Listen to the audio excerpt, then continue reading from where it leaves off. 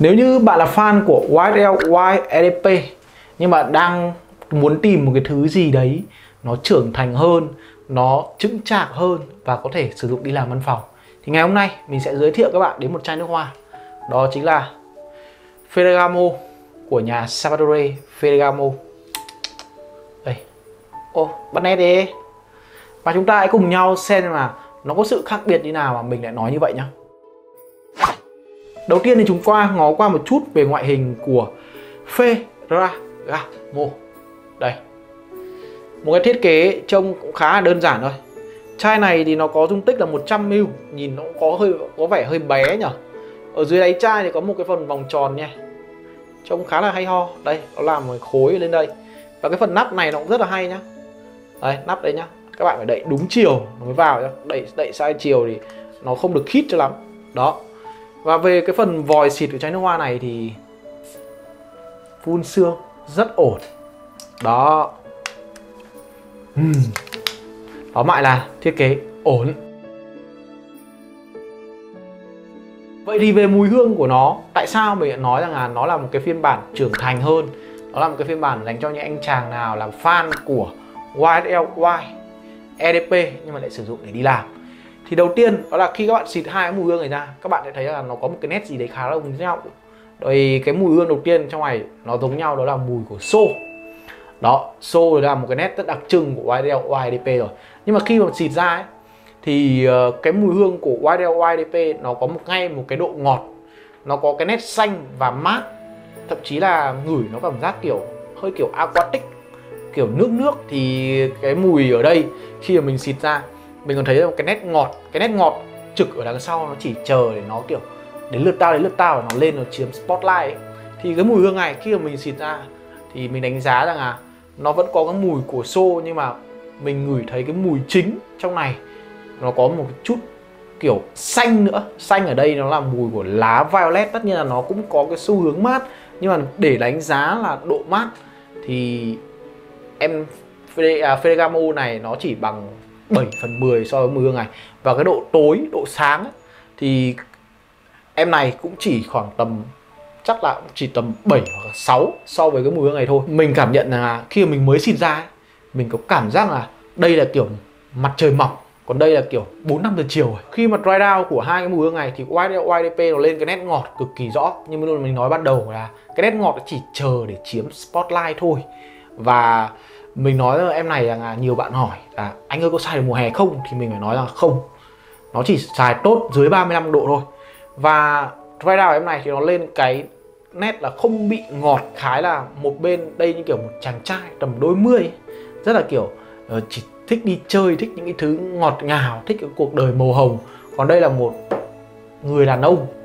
Người đàn ông ở đây thì ờ, không lên cái nét ngọt, thậm chí là nó có lên cái vai gỗ khá là nam tính và cái mùi hương này cũng khá là bền bỉ ở trên da. Thì với mình uh, cái tốt nốt của chai nước hoa này cá nhân mình thì mình không thích lắm. Tại vì mình có cảm giác kiểu nó không được kiểu mượt mà cho lắm. Tại vì mình vẫn thích cái cái nốt bên này. Cái nốt bên này khi mà nó chưa ngọt thì mình rất là thích. Nhưng mà khi mà dry down thì đây lại là một cái rất là nam tính. Độ nam tính ở đây nó không phải thể hiện bằng cái sự ngọt ngào mà bằng sự khéo léo trong blend mùi. Nó biết đẩy gỗ nó biết bố trí làm sao để xô xuất hiện và làm sao để cái mùi hương có một cái sự tinh tế thì người đàn ông ở đây đúng kiểu, người đàn ông đã trưởng thành rồi. Đây trên da ngửi thề luôn, rất nam tính, thậm chí là nó còn hay ho hơn cả những chai nước hoa quốc dân nhập Bleu de Chanel hơn em nó gấp đôi tiền. Đó là cái vế đầu tiên khi mình nói rằng là đây là một phiên bản trưởng thành hơn của YDP cái lý do thứ hai đó là mình nói rằng là đây là một chai nước hoa sử dụng văn phòng. Đúng. Thì lúc ấy mình có xịt Blue Channel. Ở đây, phiên bản EDT nhá. Tóm lại là phiên bản trẻ nhất rồi. Thì mình thấy rằng là em này nó vẫn có một cái sự già. Thì Blue Channel, mình nói rằng là như kiểu là những anh chàng, gia đình có điều kiện vào công ty nhà làm, đi làm cho vui. Còn với anh chàng này, thì mùi hương thứ nhất là về cái độ tỏa mùi. Thì Ferragamo nó làm khá là khéo mình nghĩ rằng là mùi hương này sử dụng mùa hè cũng được tại vì cái độ tỏa hương của nó ấy, nó chỉ loanh quanh tầm nửa cánh tay quay đầu thậm chí là không được nhiều nửa cánh tay. Nhưng mà độ lưu hương nó lại rất bền bỉ ở trên da. Thì đây như kiểu là con ong chăm chỉ vậy. Cứ cặm cụi làm công việc của mình thôi. Đây là kiểu những anh chàng kiểu biết bản thân mình ở đâu biết mình không có quan hệ là mình sẽ làm tốt công việc của mình. Và mùi hương này mình nghĩ là sẽ rất phù hợp cho những bạn nào. Thứ nhất là không có quá nhiều tiền để mua nước hoa. Chai hoa này, theo mình thì nói là khoảng tầm hơn một triệu tầm một triệu rưỡi. Còn Blue Chanel thì nó sẽ rơi vào khoảng tầm, chắc là lanh quanh tầm 3 củ. Khá là đắt, đúng không? Đấy, mà mùi hương chúng ta nhận lại, mình đảm bảo rằng là hoa mình sẽ dành đi quay phỏng vấn thì chắc chắn đây sẽ là mùi hương được thích hơn rất là nhiều. Không tin các ông cứ chờ trong các ông cứ follow kênh youtube của tôi tôi sẽ đăng lên cho các ông xem. Vì thế, nếu như để chọn thì mình sẽ chọn em này cho văn phòng hay ho hơn một cái nét vẫn có sự trẻ trung vẫn có sự năng động nhưng mà vẫn là một người đàn ông trưởng thành office được. Ừ, chắc chắn thôi sẽ chọn em này chứ. Vậy thì độ bám tỏa cũng như là cái phong cách cụ thể như thế nào của Ferragamo cho ổn? Thì đầu tiên là mùi hương này lưu khá tốt ở trên da loanh quanh tầm 6 đến 8 tiếng thậm chí là không phải tầm 8 tiếng ấy.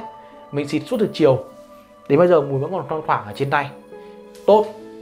À, tất nhiên là không thể nào bám bằng Blue Chanel được rồi. Đó nhưng mà về độ tỏa hương thì nó là nửa cánh tay. Cái lựa nửa cánh tay này là một cái cực kỳ hay. Khi mà mình chọn mùi hương để sử dụng trong những cái môi trường văn phòng ấy mình sẽ không chọn những cái mùi tỏa tốt tại vì nó sẽ gây khó chịu. Và những cái thứ mà tầm nửa cánh tay bên đầu thì nó làm cái lựa chọn cực kỳ an toàn. Đó.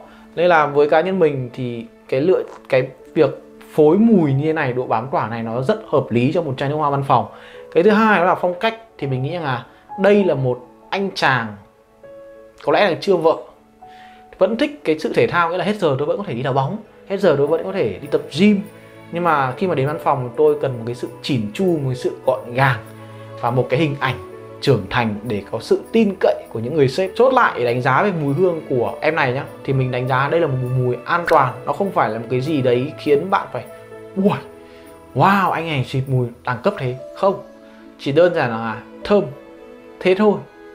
Thơm và sẽ nhận lại được được cái thiện cảm từ những người xung quanh. Đó. Và đây không phải là một cái gì đấy nó quá nổi bật về cái độ bám tỏa như mình nói rồi. Cái thứ hai đó là cái lựa chọn tầm giá rất hợp lý để cho những bạn bắt đầu đi làm có thể mua và tiếp cận được. Và vừa rồi đó là cái review của mình về Ferragamo của nhà Salvatore Ferragamo một trong những cái lựa chọn khá là ổn. Và mình nghĩ rằng là chúng ta nên đổi gió cho nước hoa văn phòng lâu rồi không làm nước hoa văn phòng cho anh em. Hy vọng là sắp tới sẽ có một cái clip nước hoa văn phòng um, cho nam năm 2022 thì mình sẽ cho em này lại một lần nữa và nếu như bạn đã sử dụng blockchain nước hoa rồi hay là bạn có một cái thông tin gì đấy muốn chia sẻ thì các bạn hãy bình luận phía dưới và đừng quên việc like, share và ấn nút chuông theo dõi để nhận được nhiều video mới hơn. Còn bây giờ thì xin chào và hẹn gặp lại. Bye bye.